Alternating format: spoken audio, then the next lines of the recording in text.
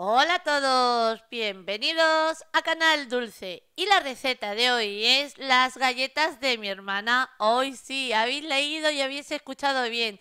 Es una receta de mi hermana, por eso esta receta va dedicada a ella, a mi hermana. ¿Queréis ver cómo se ha preparado? Pues nos ponemos ¡Manos a la obra! Y como estáis viendo aquí ya tengo todos los ingredientes preparados y para que todo el mundo pueda preparar estas deliciosas y esponjosas galletas de mi hermana los ingredientes los he pasado también en vasos. Muy importante el que eh, midamos con el mismo vaso. No nos vale medirle el azúcar con uno grande y el del aceite con uno más pequeño. No, tiene que ser el mismo vaso. También eh, esta receta la vamos a dar en gramos. Vamos a comenzar añadiendo dos huevos y también en esta receta el tamaño de los huevos no importa, pueden ser pequeños, medianos o grandes. A continuación añadimos 450 gramos de azúcar que casi equivale a dos vasos, como estáis viendo. Al último le falta como quien dice dos dedos por llenar. Pero si sois muy golosos perfectamente podréis añadir los dos vasos completos de azúcar que serían 500 gramos, 250 mililitros de aceite de girasol que equivale a un vaso y 250 mililitros de leche que equivale a otro vaso. La temperatura de los ingredientes los tengo a temperatura ambiente, igual que la leche. A continuación vamos a añadir también 250 mililitros de zumo de naranja. El zumo de naranja tiene que ser natural.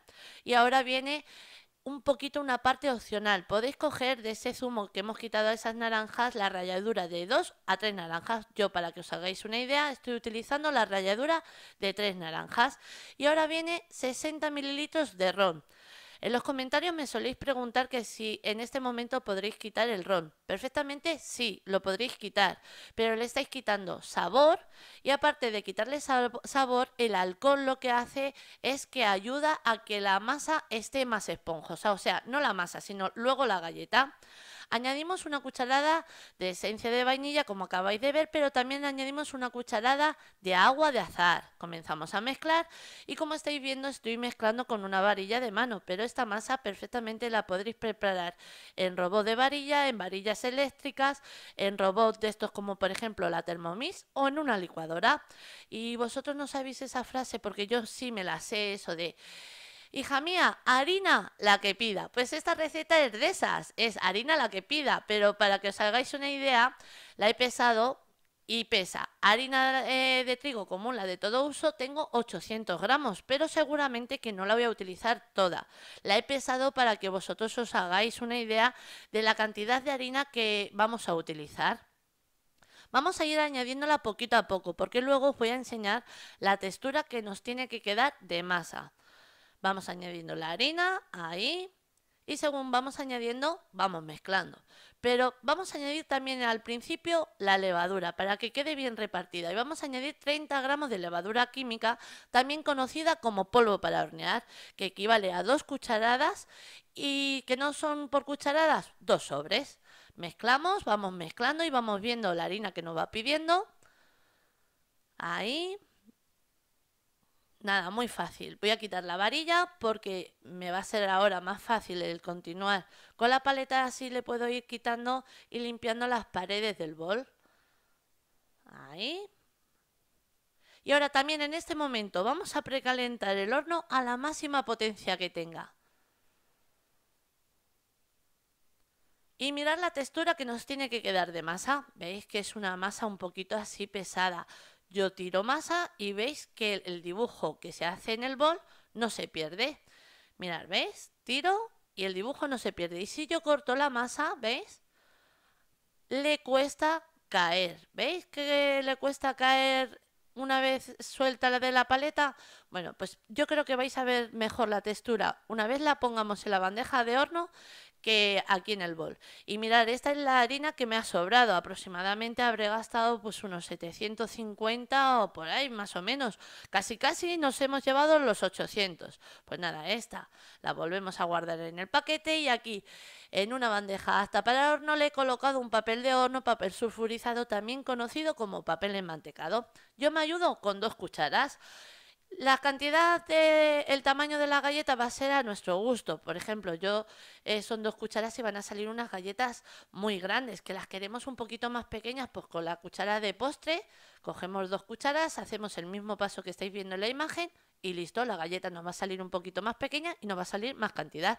Y estáis viendo la textura de la masa, según ha caído la bandeja, se ha abierto un poquito, pero muy poquito. Os acerco un poquito la imagen para que lo veáis muchísimo mejor. Mirad, ¿veis? Añadimos la masa y al caer en la bandeja se va a abrir un poquito, como veis, se va a colocar, pero no se extiende demasiado. Entonces así, cuando la añadís en la bandeja vais a notar si necesita un poquito más de harina y la tenemos bien o está perfecta para comenzar a hornear. Vamos a seguir haciendo el resto y, por ejemplo, nos ayudamos con dos cucharas o con la cuchara de postre, pero también, por ejemplo, luego os voy a enseñar con la cuchara de los helados. Ahora vamos a espolvorear un poquito de azúcar por encima. Ahí. Nada, habéis visto qué fácil estas galletas. Si salen un montón, te pueden durar como quien dice casi el mes. Ahora, nos lo llevamos al horno. Horno, vamos a bajar el horno a 220 grados centígrados con calor arriba y abajo durante unos 10 a 15 minutos aproximadamente. Vamos a ir controlando ya que cada horno es un mundo. Mirad, la nuestra en total ha estado dentro del horno 12 minutos. Ahora, muy importante es dejarlas enfriar encima de una rejilla. Mirad qué maravilla. ¡Guau! ¡Qué olorcito! Mirad, mirad. Vamos dejando el resto de las galletas ahí. Y luego cuando os parta una vais a ver qué bocado tiene. Mirad lo que yo os decía. Con la cuchara de helados cogemos también la misma y cantidad igual en las porciones de la galleta. Por eso ya os digo que para añadir la galleta en la bandeja va a ser un poquito a nuestro gusto. El tamaño y la cantidad de masa. Añadimos un poquito de azúcar y otras que van para el horno. Mirad, ¿veis? Hay que dejarlas bien separadas porque si no se juntan unas con otras, porque luego eh, al, llevarlas en el horno, el calor lo que va a hacer es que la galleta se abra un poquito más. Ahí. Vamos a por otra bandeja. Y esto se hace en un plis plas. Me encanta.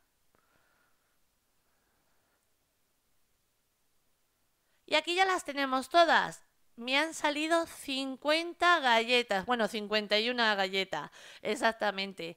Pero aquí la cantidad va a ser un poquito en el recipiente que cojamos y utilicemos para coger la masa. Por eso puede variar, si lo cogí más pequeñitos, pues van a salir más galletas. Para conservarlas en tupper de cristal se conservan fenomenal. Mirad qué blanditas. Y verás qué esponjosas. Mirad.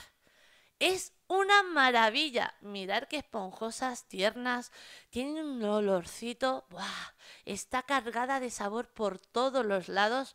Esta es una galleta que cuando la pruebas, ya te digo yo, que no compras ninguna más de la calle. Ya te digo yo.